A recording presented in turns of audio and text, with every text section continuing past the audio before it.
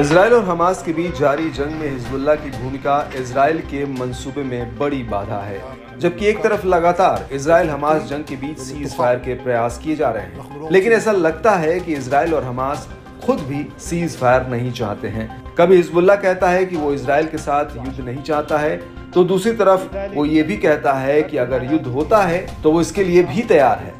Hezbollah अपने नेता की हत्या का बदला लेने की बात भी करता रहता है।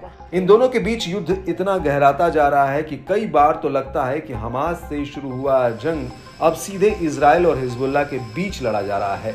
ईरानी नेता से लेकर हिजबुल्ला नेता तक की मौत में जहाँ ये दोनों इसराइल पर सवाल खड़े कर रहे हैं, उसका बदला लेने की बात कर रहे हैं, वहीं इसराइल भी अमेरिकी मदद के ज़रिए ताबड़तोड़ हमले कर रहा है। एक तरफ़ जहाँ सीज फायर की चर्चा तेज है, उस बीच हिजबुल्ला की एक प्रतिक्रिया इस प्रयास पर पानी फेरती हुई दिख रही है। दरअसल हिजबुल्ला ने एक बार फिर अपने वरिष्ठ कमांडर की हत्या को लेकर इसराइल के खिलाफ जवाबी कार्रवाई करने के अपने प्रण पर ज़ोर दिया है।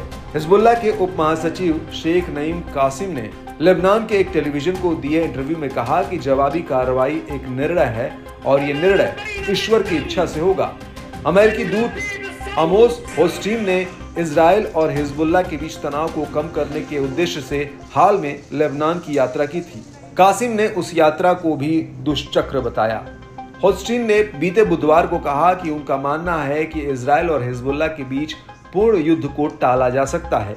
उन्होंने कहा कि गाजा के लिए युद्ध विराम समझौता एक व्यापक युद्ध की आशंका को रोकने में मदद करेगा। उन्होंने कहा कि उनका मानना है कि युद्ध का कूटनीतिक हल संभव है। होस्टीन ने कहा कि लेबनान और इसराइल के बीच पूरी तरह से युद्ध कोई नहीं चाहता। इधर नईम कासिम ने हिजबुल्ला द्वारा गाजा के लोगों के समर्थन में किए गए अभियानों का ज़िक्र किया। उन्होंने वर्तमान लड़ाई को कठिन बताते हुए इसे विकल्पों की लड़ाई कहा।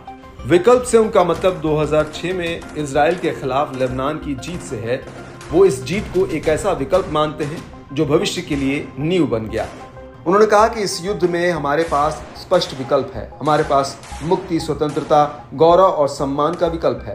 ये कब्जे और आक्रामकता के विकल्प से कहीं अधिक कठिन है। आपको बता दें कि इसराइल और हिजबुल्ला के बीच अक्टूबर की शुरुआत से ही गोलीबारी हो रही है। इधर गाजा के समर्थकों ने तब तक जवाबी हमले जारी रखने की कसम खाई है, जब तक इजरायली सरकार गाजा पर अपना हमला जारी रखेगी।